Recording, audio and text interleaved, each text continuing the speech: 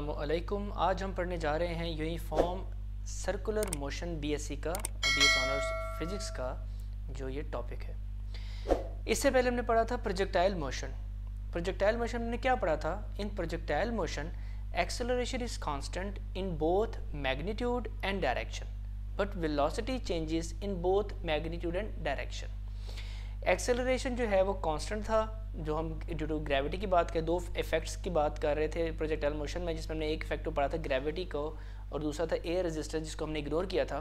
तो in the case of gravity हमने ये पढ़ा था कि जो एक्सेलरेशन है which is due to gravity is always constant regarding magnitude as well as direction कि उसका magnitude 9.8 metres per second square रहता है, और जो उसका होती है डायरेक्शन होती है वो टुवर्ड्स द अर्थ रहती है हमेशा। मतलब कि according to Cartesian coordinate system अगर मैं रेफरेंस के तौर पर कहता हूँ तो नेगेटिव वाई एक्सिस की तरफ़ उसकी डायरेक्शन रहती है। That is why we are we always take G value of G in negative 9.8 metre per second square because of this convention okay अब हम पढ़ने जा रहे हैं यूनिफॉर्म सर्कुलर मोशन एक सर्कुलर मोशन क्या है और सर्कुलर मोशन बनती कैसे है? ठीक है? पहले हम कुछ एग्जांपल्स देखते हैं, फिर हम इसके मैथमेटिकल प्रूफ की तरफ़ आएँगे। ये देखिए, हमारे पास एक एग्जांपल है, इस फिगर में आपको नज़र आ रही है, इस फिगर नंबर वन के अंदर। कि हमारे पास एक ऑब्जेक्ट है, एक बॉल है, ठीक है, जो कि हमने एक स्ट्रिंग के साथ इसको हमने जोड़ा हुआ है। ये ये क्या है? ये स्ट्रिंग है। स्ट्रिंग से हमने इसको जोड़ा हुआ है, इसको पकड़ा हुआ है और हम इसको रोटेट करवा रहे हैं एक कांस्टेंट स्पीड के साथ। तो याद रखिएगा, मैंने वेलोसिटी की बात नहीं की। वेलोसिटी और स्पीड में क्या फ़र्क है? वेलोसिटी में मैग्नीट्यूड होता है यूनिट होता है और हम इसमें डायरेक्शन की बात करते हैं। लेकिन जब हम स्पीड की बात करते हैं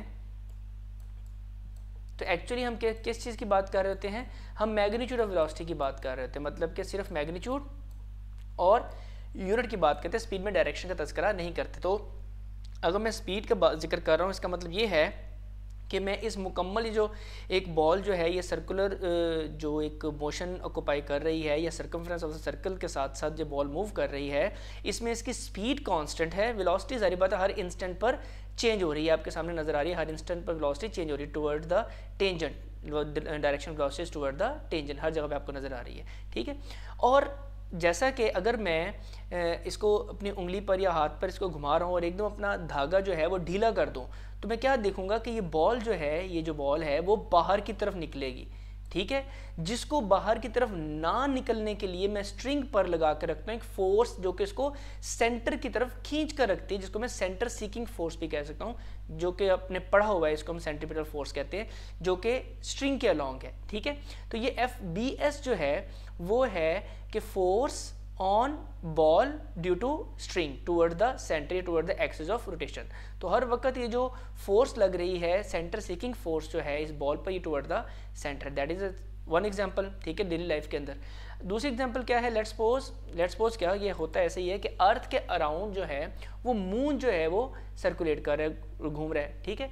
अब उस, वो मून जो है because of Earth gravitational force ये ज़मीन की तरफ़ मतलब अट्रैक्ट हो रहा है और ये एक सर्कुलर पाथ को ऑक्यूपाई कर रहा है, ठीक है? अब ये अगर इस सर्कुलर पाथ की बात करें तो हर इंस्टेंट पर, क्योंकि कांस्टेंट स्पीड के साथ मूव कर रहा है दैट इज़ वाई ये ज़मीन के साथ आकर टकराता नहीं है, ना ज़मीन से दूर जाता है, जैसे मैंने इस केस के अंदर ज़िक्र किया था। अब इसकी डायरेक्शन जो मून की मूवमेंट है, उसमें डायरेक्शन ऑफ़ द वेलोसिटी जो कि इंस्टेंटेनियस वेलोसिटी की बात करूँ, हर इंस्टेंट पे बात करूँगा ना, ये हमारे पास एक इंस्टेंट है, ठीक है? ये हमारे पास एक इंस्टेंट है, ये हमारे पास एक इंस्टेंट है। हर इंस्टेंट पर जो direction of the velocity of the motion of the moon है, ठीक है? वो क्या है? टूवर्ड द टेंजेंट या आउटवर्ड कह रहे हैं, ठीक है? टेंजेंट टू द सर्कल लेकिन मैग्नीट्यूड की बात करें, मैग्नीट्यूड ऑफ़ वेलोसिटी, जिसको मैं स्पीड कह रहा हूँ, वो हर वक्त क्या है? वो कांस्टेंट है, वो सेम है। दैट इज़ वाई जो ये एक मोशन है, वो एग्जैक्ट सर्कुलर मोशन है। अगर मेरी स्पीड कांस्टेंट नहीं होगी तो एग्जैक्ट जो है, वो सर्कल इस तरह नहीं बनेगा। वो क्या बनेगा? इस तरह बन जाएगा। या इस डायरेक्शन इसकी कुछ इस तरह इलिप्स बन जाएगा, इस तरह की डायरेक्शन हो जाएगी। एग्जैक्ट सर्कल नहीं बनेगा। अगर आपको एक्सपेरिमेंट करना है तो आप एक धागा लें, उसके साथ एक कोई भी जो है वो मैस को बांधें और उसको घुमाना शुरू करें, खास वेलोसिटी से फिर बीच में ऐसा ऐसा वेलोसिटी को चेंज करना शुरू कर दें।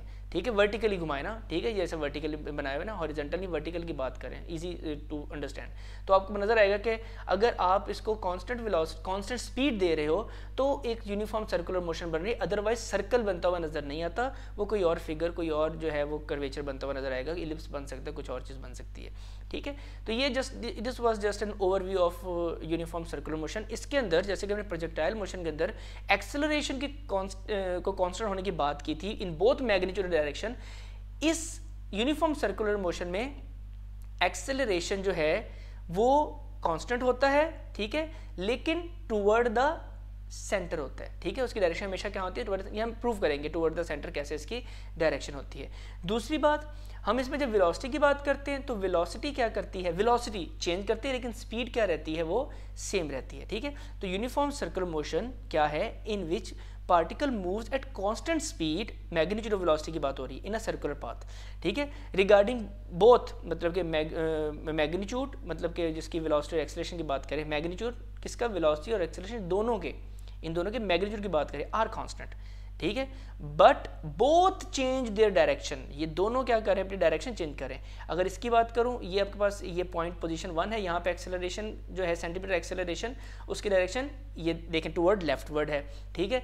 और ये जो पॉइंट टू है, इस पोजिशन इसको पोजिशन टू अगर कहता हूँ तो इसकी कहाँ है? टूवर्ड अपवर्ड है। सेंटीमीटर एक्सेलरेशन की। ये पॉइंट थ्री अगर मैं इसको कहता हूँ तो इसको toward rightward acceleration centimetre की एक्सेलरेशन की डायरेक्शन है। और यहाँ पर ये पॉइंट फोर अगर मैं इसको कहता हूँ तो इसके टूवर्ड डाउनवर्ड है। तो एक्सेलरेशन की डायरेक्शन जो है, वो हमा वक्त, हर लम्हा बदल रही है चेंज कर, लेकिन मैग्नीट्यूड ऑफ़ एक्सेलरेशन क्या है? वो सेम है कांस्टेंट है। कांस्टेंट है, अगर कांस्टेंट के मैं आपको स्पेशल केस बताया था कि अगर एक ऑब्जेक्ट जो है, उसका एक्सेलरेशन जो है, वो ज़ीरो है। ठीक है बॉडी का एक्सेलरेशन और वो हर वक्त ज़ीरो रहता है ठीक है? तो इसको हम आ, कहते हैं कांस्टेंट भी कह सकते हैं इसको ज़ीरो एक्सेलरेशन भी कहते हैं। That is a special case ठीक है? अच्छा अब हम बात करते हैं कि इसके प्रूफ की तरफ़ आते हैं। इसको प्रूफ कैसे करें हम? ये हमारे पास एक डायग्राम है ठीक है? जिसमें एक पार्टिकल है वो ये जो आपके सामने पार्टिकल बनाया हुआ है ये पार्टिकल ठीक है? Let me change the colour so that you can see it easily let me choose dark green. Okay हाँ। ये ये एक पार्टिकल है, या बॉल है जो कि पॉइंट पी वन है, इसको मैं घुमा रहा हूँ, ठीक है, और मैं इसको कहाँ ले आया हूँ पॉइंट पी टू पर ले आया हूँ, ठीक है?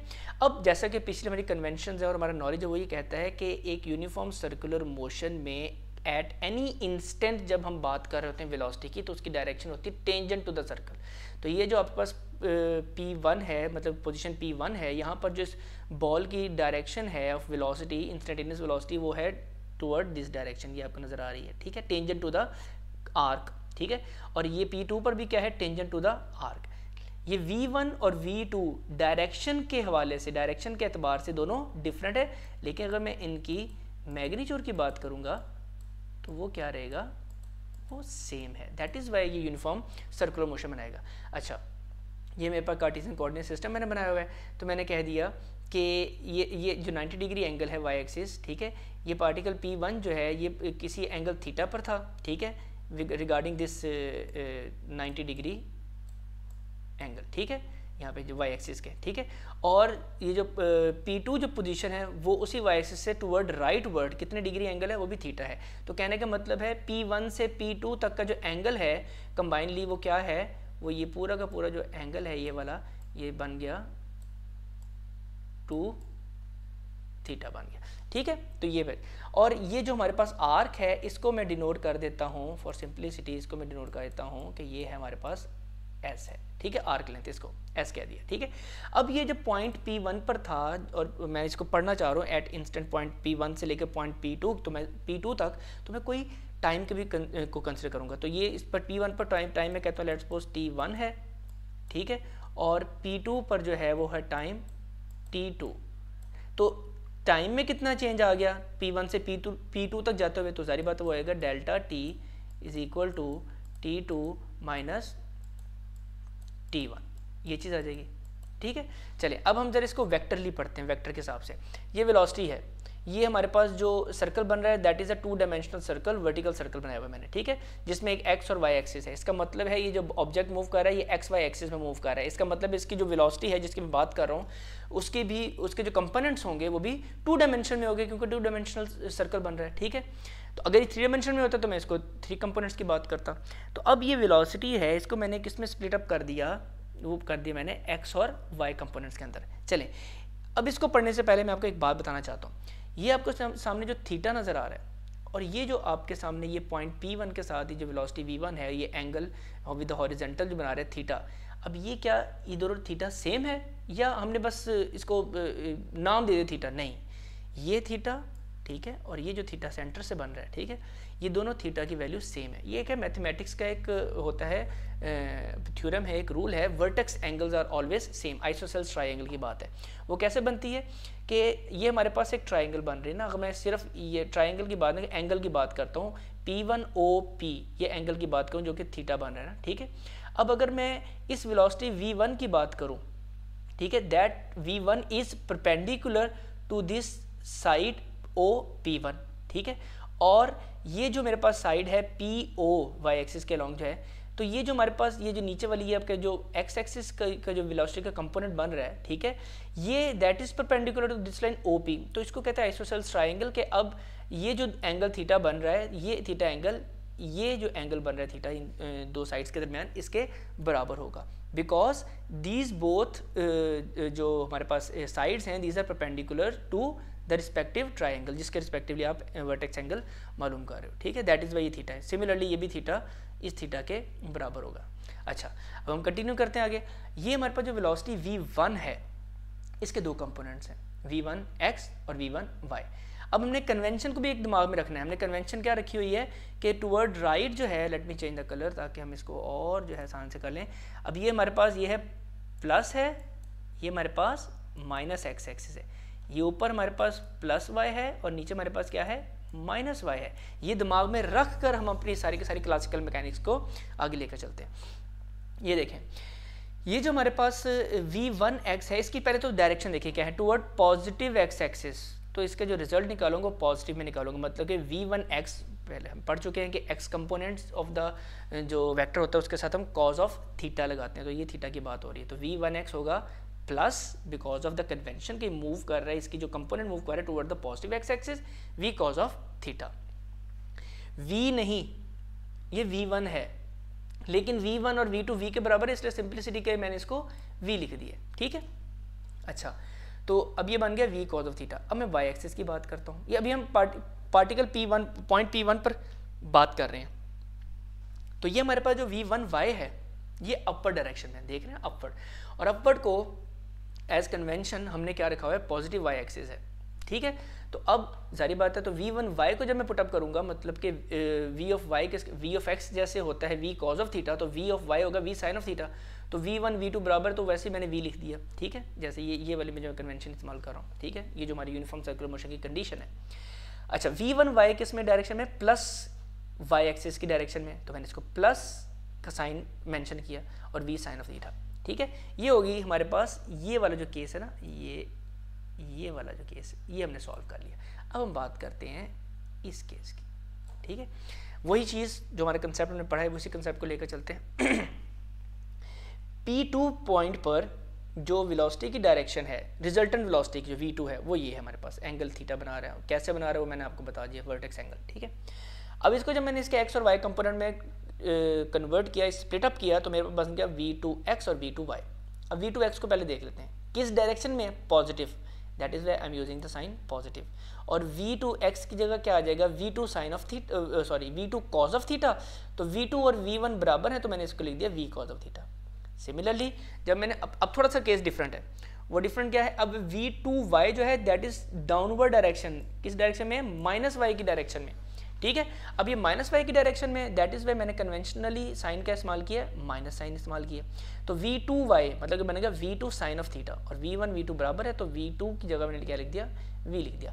ये हमारे पास चार इक्वेशन जो है, वो बन गई इनको मैंने इक्वेशन नंबर वन का नाम दे दिया। ठीक है? अच्छा इसको आगे कंटिन्यू करने से पहले, क्योंकि जो मोशन है, ठीक है, वो है यूनिफॉर्म मैग्नीट्यूड के हवाले से। तो ये जो हमारे पास वेलोसिटीज़ है ना, ये जो दो वेक्टर्स हैं वी वन और वी टू वेक्टर की एक बड़ी खूबसूरत बात है कि आप दो वेक्टर्स डिफरेंट पोजीशंस पर भी होना तो आप उन्हें उठाकर एक ही पॉइंट पर या एक ही ओरिजिन पर रख सकते हो keeping in mind the thing क्या? कि ना इनकी डायरेक्शन चेंज हो, ना इनका मैग्नीट्यूड चेंज हो अदरवाइज़ वेक्टर की जो स्पेसिफिकेशन है वो चेंज कर जाएगी। तो मैंने इस वी वेक्टर को ये रख दिया, इसको मैं कहता हूँ लेट्स सपोज़ ये हमारे पास, मैं इसको बना देता हूँ कोऑर्डिनेट सिस्टम बना देता हूँ समझाने के लिए। ये एक्स है और ये क्या है? वाई है, समझाने के लिए।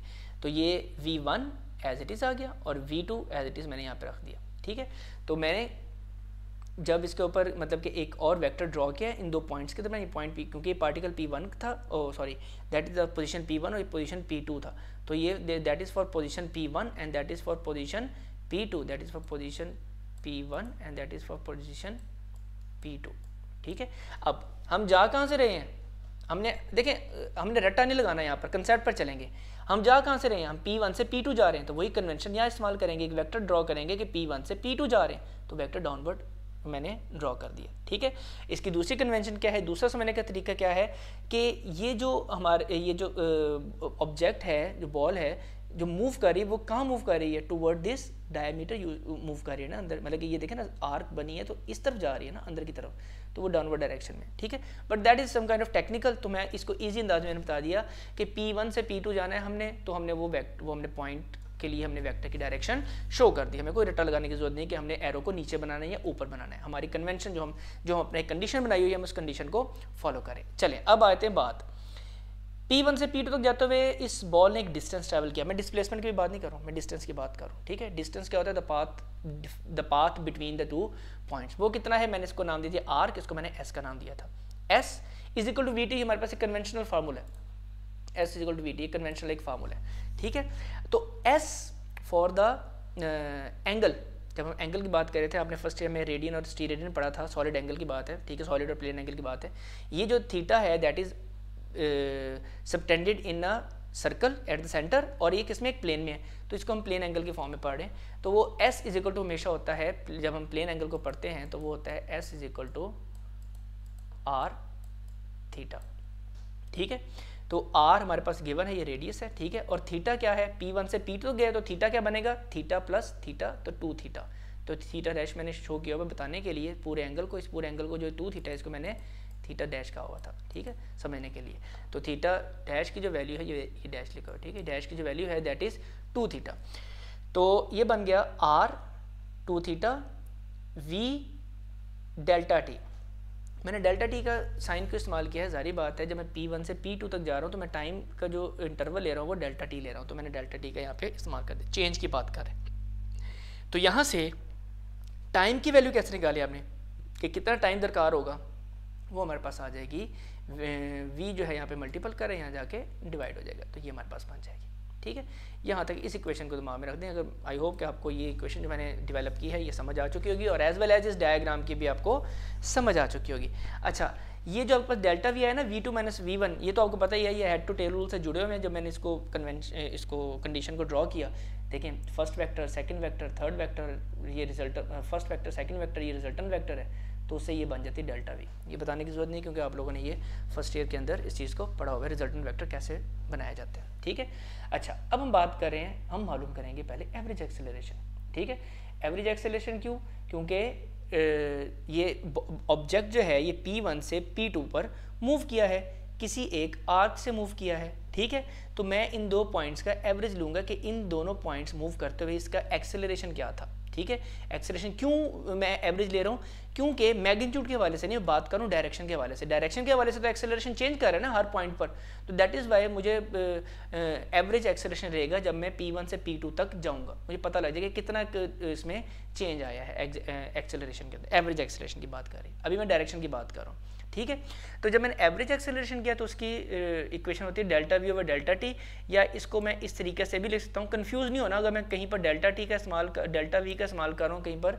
अगर मैं डी वी लिख रहा हूँ तो ये दोनों चीज़ें एक ही हैं, ठीक है, समझने के लिए, ठीक है, डेल्टा या डेरिवेटिव आप ले रहे हो, चेंज ले रहे हो आप, ठीक है डिफरेंसेस तो ये V two minus V one delta V ये जो हमारे पास ये ये गिवन है, ठीक है V two minus V one over delta T अब एक्सेलरेशन बिकॉज़ ऑफ़ वेक्टर क्योंकि ये टू डायमेंशन में हो रहा है तो एक्सेलरेशन जो एवरेज बेशक है, इसके भी क्या बनेंगे? दो कंपोनेंट्स बनेंगे। मैं इनको दो कंपोनेंट्स बना देता हूँ। ये देखिए एक एक्स कंपोनेंट है और दूसरा वाई कंपोनेंट है। तो average acceleration because of X component की बात कर रहा हूँ, मैं डायरेक्शन की बात नहीं कर रहा मैग्नीट्यूड के वाले से बात करने लगा ठीक है? क्योंकि यहाँ पे हम मैग्नीट्यूड की बात कर रहे हैं। ठीक है? I am omitting the now direction तो ये क्या बन गया हमारे पास? V two X component minus V one X over delta T V two X की वैल्यू क्या है? ये हमारे पास गिवन है। V two X V cos of theta और वी वन एक्स की वैल्यू क्या है? V cos of theta same है. तो मैंने दोनों वैल्यूज़ पुटअप कर दिया तो नज़र ये आया है कि ये वैल्यूज़ एक दूसरे के साथ क्रॉस हो जाएँगी तो आंसर क्या आ जाएगा आपके पास?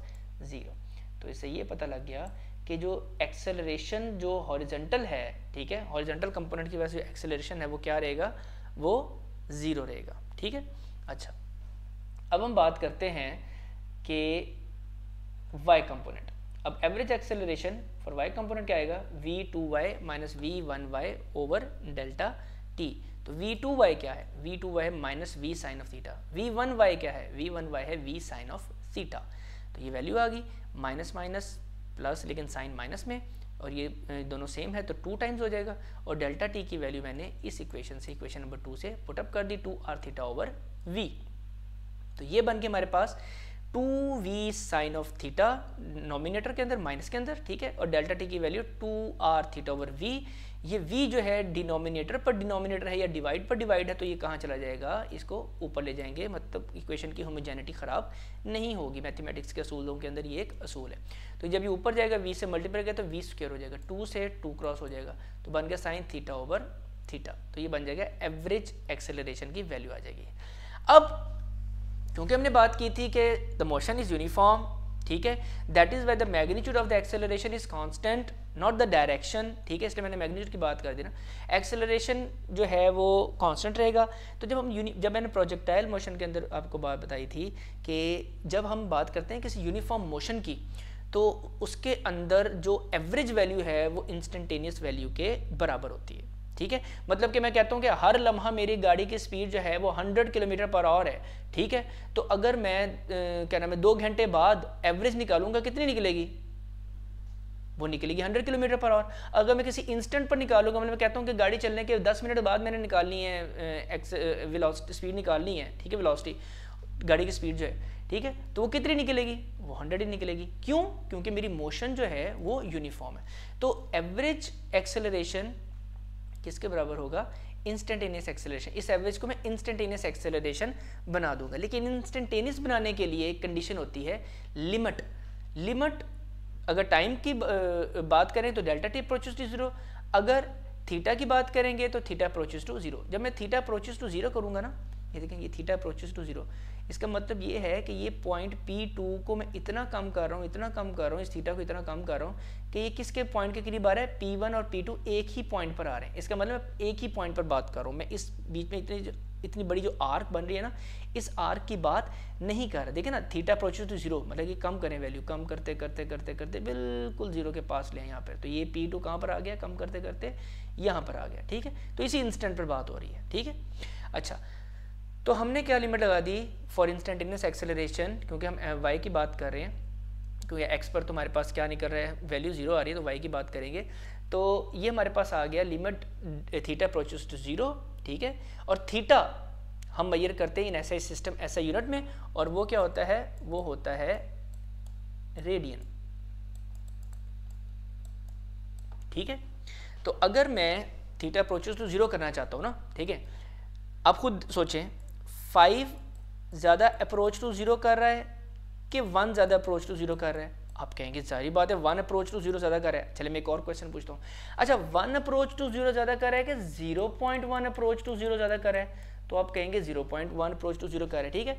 तो लेट सपोज़ फॉर सिंप्लिसिटी मैं कहता हूँ वन की ही बात कर लेता हूँ। अगर कैलकुलेटर अपना निकालें, उस पर एंगल सेट करें रेडियन पर और उसका जो है ना थीटा मतलब कि वन डिग्री जो वन जो रेडियन है, उसका साइन का वैल्यू लें, ठीक है? तो आंसर निकलेगा अप्रोक्सीमेटली इक्वल टू वन जिसका मतलब है कि थीटा जब अप्रोचेस टू ज़ीरो हो, मैं वन कह रहा हूँ, हालाँकि ज़ीरो पॉइंट वन करूँगा तो एंगल फिर क्या आ जाएगा जो रिज़ल्ट आएगा sine of zero point one का, वो आएगा ज़ीरो पॉइंट वन रेडियन की बात करूँ डिग्री की बात नहीं कर रहा हूँ, ठीक है? तो इसका मतलब ये हुआ कि जब limit theta approaches to zero करती है तो ये जो, ये फ़ंक्शन ये जो वैल्यू है sine theta over theta sine theta approaches to क्या बन जाता है? ये देखें बना देता हूँ। जब मैं लिमिट लगाऊँगा थीटा अप्रोचेज टू ज़ीरो तो ये साइन ऑफ़ थीटा क्या बन जाएगा?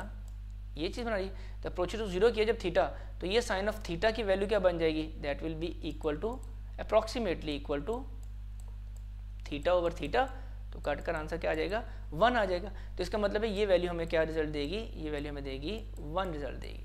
ठीक है? तो ये मैं जब लिमिट लगाई फॉर इंस्टेंटेनियस एक्सेलरेशन लिमिट लग गई इस एंगल इस पर तो लिमिट नहीं लगेगी ना, ठीक है?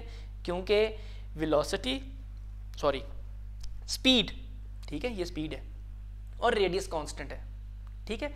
तो अब मैंने जब लिमिट लगाई साइन थीटा ओवर थीटा पर तो ये बन गया A Y equal to minus B square over R minus sign जो इसमें बता रहा है ना वो ये बता रहा है कि ये एक्सेलरेशन है ना, इसकी डायरेक्शन हर वक्त जो है इनवर्ड है टूवर्ड द सेंटर है। ठीक है? मतलब कि अगर ए वाई इस डायरेक्शन में ए जो हमारे पास ए वाई की डायरेक्शन अगर ये है, ठीक है? मतलब कि जो रिजल्टेंट की बात करो ना, ये निकल रही है, ठीक है? बॉडी यहाँ पे मूव कर रही है, हमारे पास वी एक्स की डायरेक्शन है, ठीक है? तो एक्सेलरेशन की चेंज इन एक्सेलरेशन की डायरेक्शन हमेशा होती है चेंज इन वेलोसिटी की डायरेक्शन में। तो चेंज इन वेलोसिटी किस तरफ़ है?